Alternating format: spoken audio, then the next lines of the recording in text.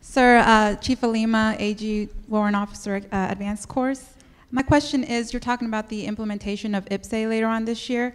Um, how do you think that this implementation will impact the future of the AG Corps, and what are the challenges that you foresee? Yeah, IPPS-A.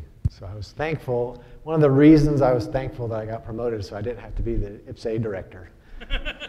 nightmare, nightmare. So, uh, you know, I, I, think honestly, I don't think we, you know, one, uh, back to the earlier point, it will allow us to see across all three components, which is, um, you know, right now, not, not even close. We have no idea uh, about information on people in the other components. It's going to change what, it's going to change what happens uh, in your S1 shops.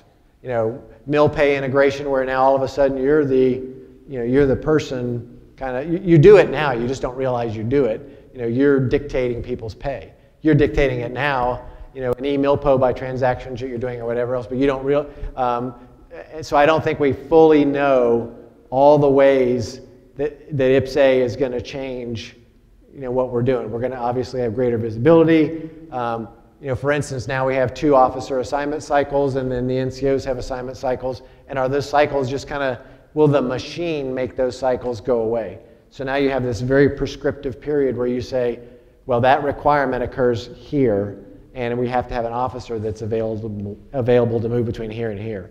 And so the idea is that we are able to not only plan what your next assignment is, but what your assignment is after that, maybe what your assignment is after that and have all those kind of options. So with you know big data, anal- I'm not a you know I'm not a techie geek or anything, but you know big data analytics and, and gathering that kind of kind of information you know should help us be a lot more effective in managing the, the human resource enterprise writ large. Any, anything you'd say, Dave?